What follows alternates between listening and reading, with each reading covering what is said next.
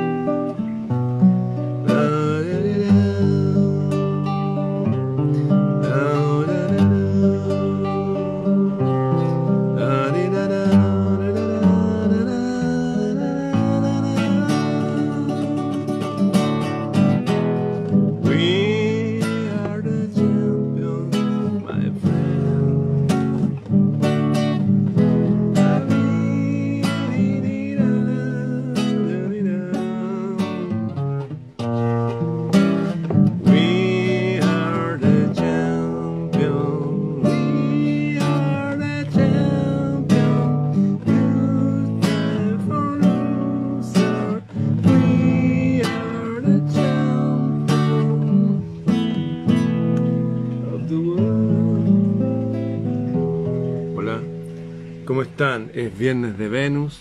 Estamos esperando a Gianina que se nos una.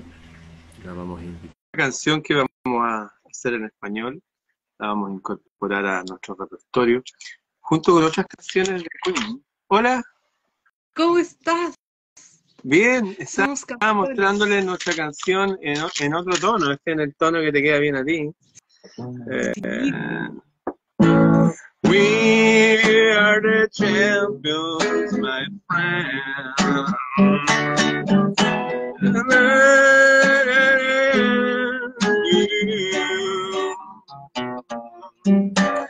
We are the champions. We are the champions.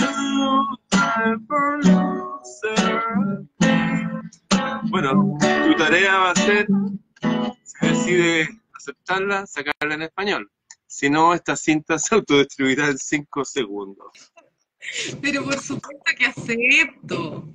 De hecho, ya eh, la comencé. Ya está, ¿En serio? yo creo que la mitad, poquito más de la mitad, eh, traducida y adaptada al español para todo nuestro público, nuestros amigos maravillosos, amigos y amigas de nuestro clan. Y va a ser una de las sorpresas que vamos a llevar a nuestro encuentro de luna en el sur, a fines de marzo. ¿Cierto Sí, que verdad con todo lo- lo- la fuerza de la naturaleza en pleno equinoccio de otoño y toda la conexión con nuestros ancestros.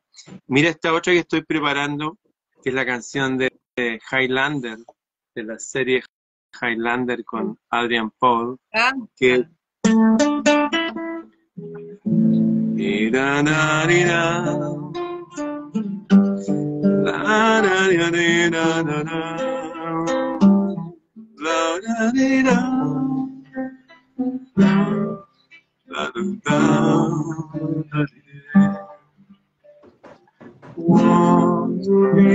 forever. Love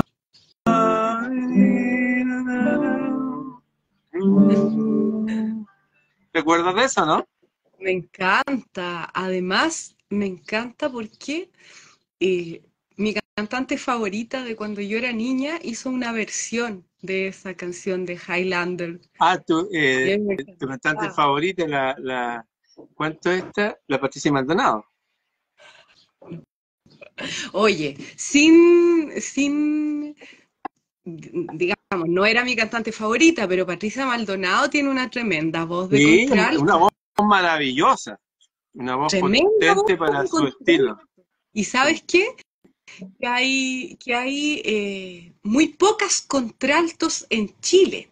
Hay un fenómeno que, que tiene que ver con, con la genética, que hace que en Chile nazcan muchas buenas voces agudas, es decir, de sopranos en mujer y de tenor en hombres.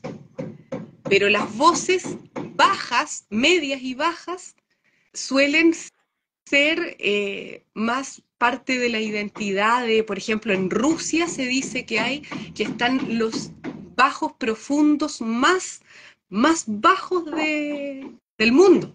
Oye, a propósito. Y en la zona. Y en las zonas frías de Europa, en el norte de Europa, de ahí vienen las voces graves. Y por eso ellos, por ejemplo, en sus cantos tradicionales, los cantos vikingos, hacían estos, estos cantos culturales.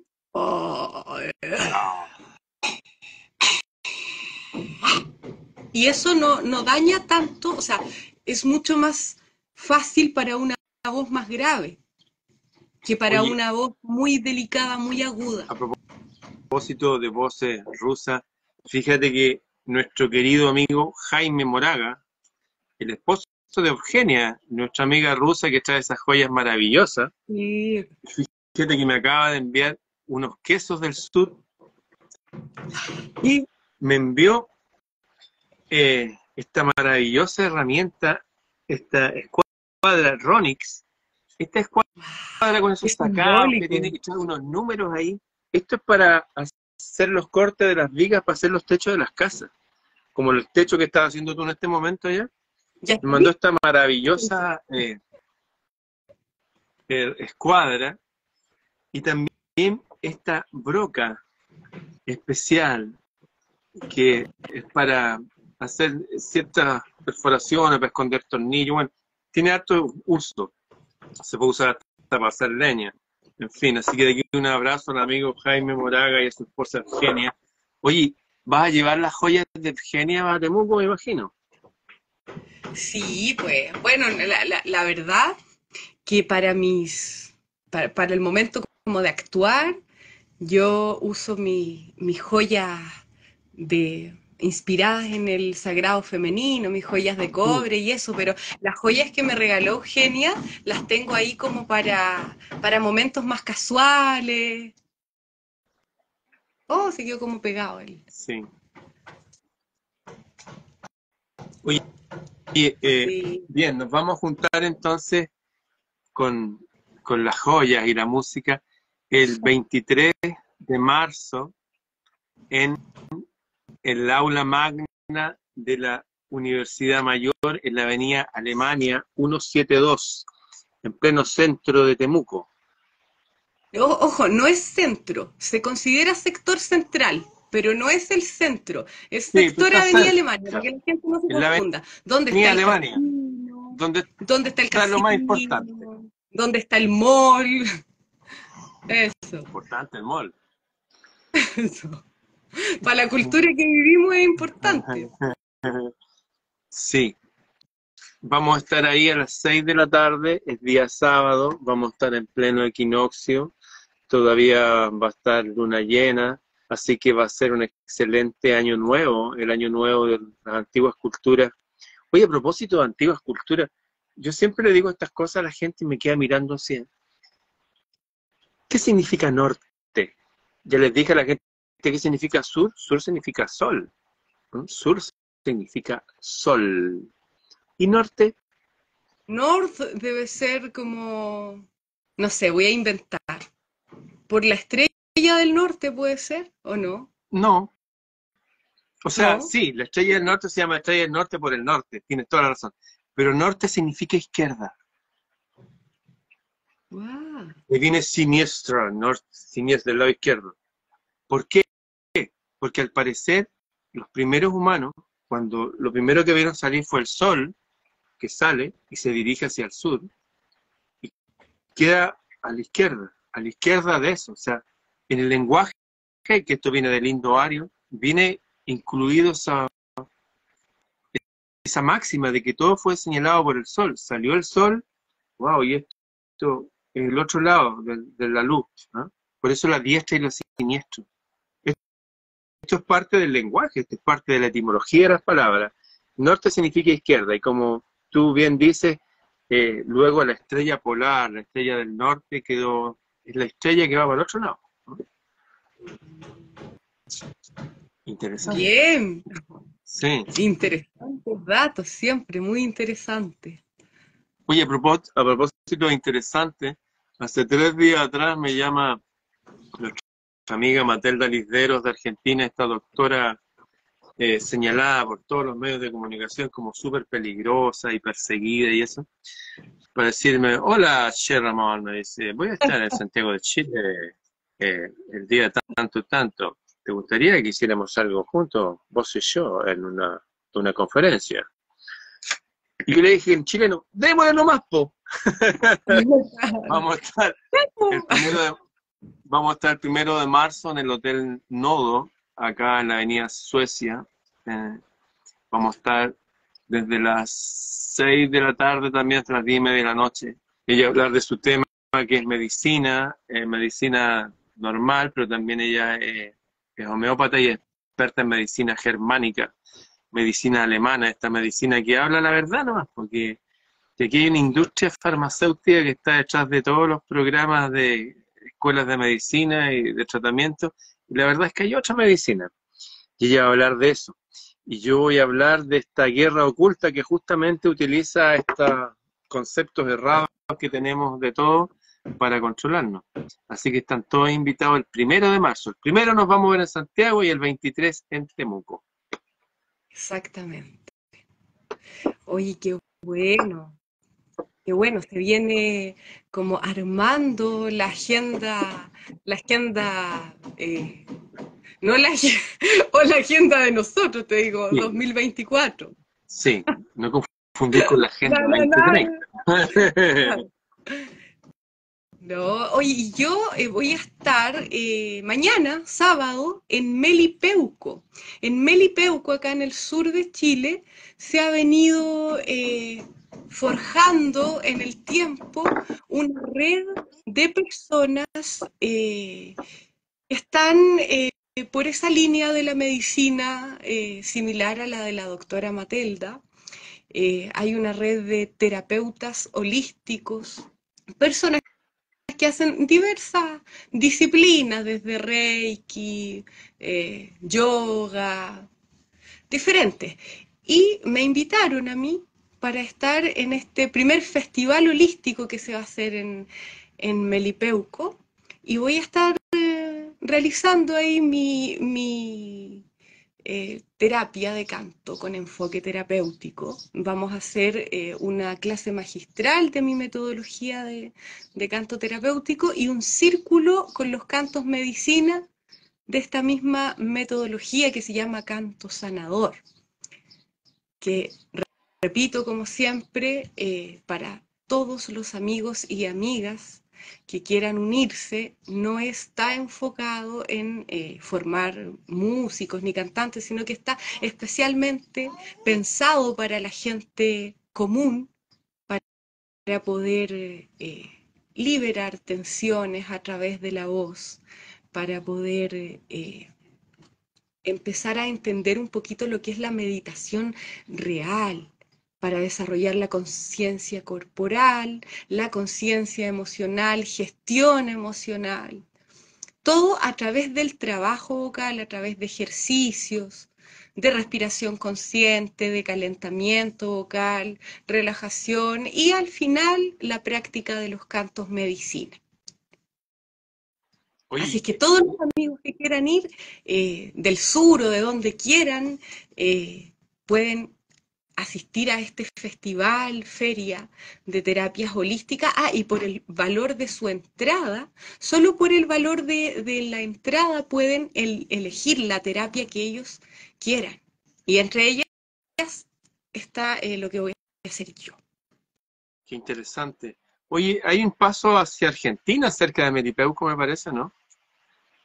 Creo que sí. Bueno, acá cerca de Lonquimay, donde yo estoy ahora, donde está mi cabañita, también hay, hay dos pasos Argentina. Hay uno que está eh, en Liucura, que es como parte de Lonquimay, camino a Icalma, y hay otro paso que está en Icalma. No sé si es el mismo que está en Melipeuco, porque Icalma también está muy cerca de Melipeuco. Sí. Yo me acuerdo que una vez subimos el volcán Batea Maguida en esta misma fecha. Hacía un frío, ¿verdad? Y de ahí se veía Argentina y Chile, para los dos lados. Estábamos a un kilómetro y medio de la frontera con Argentina. Así que las personas de Argentina que quieran venir a Chile, que estén por ahí al otro lado de la cordillera pueden cruzar. Oye, supe que estás ampliando ahora tu casita, tu cabañita, estás haciendo un salón. Sí, estamos poco a poco avanzando ahí en, en, ampliar un poquito este espacio. Así es que sí, con, con esa energía linda como, como de hacer crecer tu lugar y, y además que a mí me encanta eh, embellecer los espacios. Me gusta mucho, es como, es como cuando pinto un cuadro, por ejemplo, y voy viendo cómo avanza, cómo se va viendo más bonito y es como parecía la, la sensación. Cuando tú le das eso, cuando tú imprimes en ese espacio como, como tu esencia. Y, y eso eh, tiene que ver con la naturaleza ahora, coincide con que los pájaros, ustedes los van a empezar a ver, empiezan a llevarse las ramitas, se llevan ramitas. Las hormigas están más activas, es el momento de, fortalecer las madrigueras eh, y preparar todo y llenar nuestras despensas con grano, aceite de oliva, qué sé yo. Toda la naturaleza empieza a guardar, porque viene el otoño verdadero que parte el 5 de febrero, en tres días más. El 21 de marzo es el equinoccio, es otra cosa, el equinoccio es el centro del otoño. Se nos enseñó popularmente que parte el otoño, pero eso es falso. Es verdadero para las estaciones civiles, pero no para las estaciones de la naturaleza. Para el 21 de marzo ya se cayeron todas las hojas ya como el 21 de septiembre que la gente quiere caer, ah, empezó la primavera, ¿no? Las flores ya salieron, empezaron a salir las ciruelas, de hecho. O sea, las estaciones del año civiles son una cosa y las estaciones reales de la naturaleza son otras. Están corridas 45 días. Así que a partir de estos días, como está haciendo Janina en el sur, es el momento de fortalecer las casas, las madrigueras, está todo seco, la leña está seca, se puede construir bien. Hay algo de la naturaleza, una señal que da a todos los seres que viven a que se preparen para el invierno. El momento de atesorar, momento de atesorar. Al revés del verano, que es el momento de repartir, estar afuera, ahí uno empieza a guardar. Ya el invierno uno está adentro. Fíjate que hay una enseñanza que viene de los alemanes, que se traduce en los colegios Waldorf, la enseñanza Rudolf Steiner, que al usar los pulsos de la naturaleza con las materias de enseñanza a los niños, se consiguen niños decenas de veces más inteligentes que los niños normales. De hecho, en, Silicon Valley, donde está la gente más inteligente del planeta que trabaja que nos diseña todos estos sistemas computacionales, que viven con sus familias ahí, eh, eh, los colegios son Rudolf Steiner. Los colegios son guiados por los pulsos de la naturaleza. Los niños no usan tablet, no usan computadoras hasta que son grandes.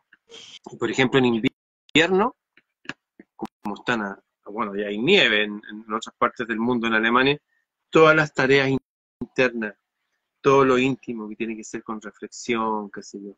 En cambio, cuando llega la primavera, todo afuera, la naturaleza, botánica, zoología, es muy inteligente empezar a ahondar en las mejores formas para unirnos a los pulsos de la naturaleza. Y con esto voy a terminar. los calendarios que en esta época todavía nos regalan o nos venden, vienen todos con las fases lunares. Sí, pues. ¿Y por qué gastan tinta para hacer las fases lunares? Claro, si uno está trabajando en agricultura y sabe cuándo sembrar, le interesaría.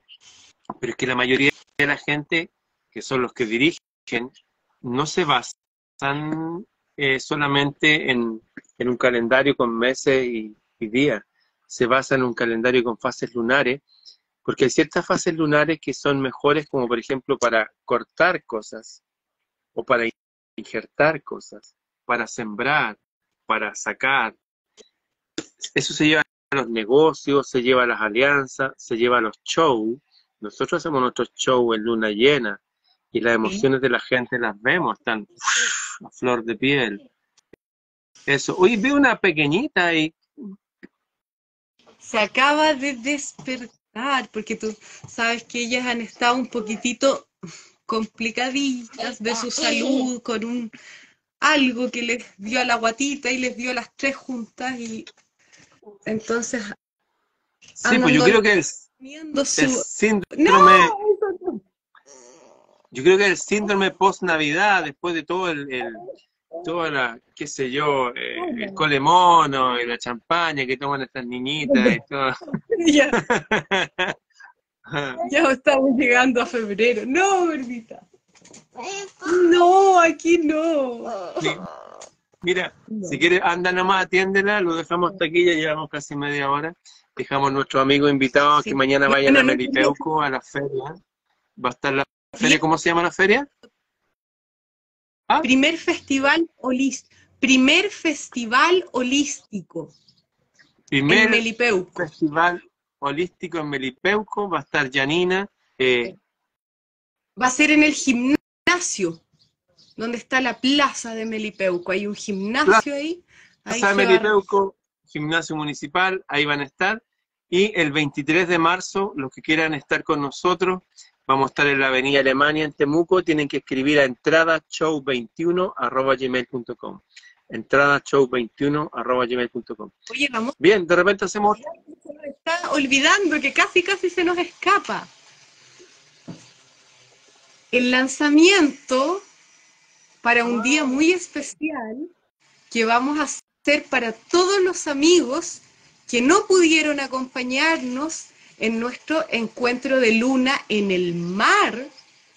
Todos los amigos que se lo perdieron porque estaban a lo mejor eh, muy lejos, no pudieron viajar. Tenemos amigos que nos siguen de Alemania, de España, de Portugal eh, y de tantos países, de México, acá en, en América, de Argentina. También hay algunas amigas de Argentina que habían comprado su entrada para ese, para ese encuentro y no pudieron viajar porque justo tuvimos tormenta. Entonces, para todos esos amigos y amigas que no pudieron estar y los que quieran revivir también eh, las emociones vividas en ese encuentro musical, vamos a hacer el estreno por streaming de nuestro encuentro de luna en el mar. ¿Qué día lo vamos a que- hacer? El 14 de febrero, el día de San Valentín, el día del amor. Los que quieran regalarle a su pareja o se quieran regalar casi tres horas de, de un show y una conversación entretenida, eh, todo filmado en HD, qué sé yo, en- mezclado en super estéreo. Eh, vamos a estar dando todas las indicaciones, todos los que quieran estar participar en, en el lanzamiento que va a ser el 14 de febrero. Eso. Bien, pues Janina, un abrazo. Dale comida a tu hijita nomás. Sí, Nos vemos. acá, escondido.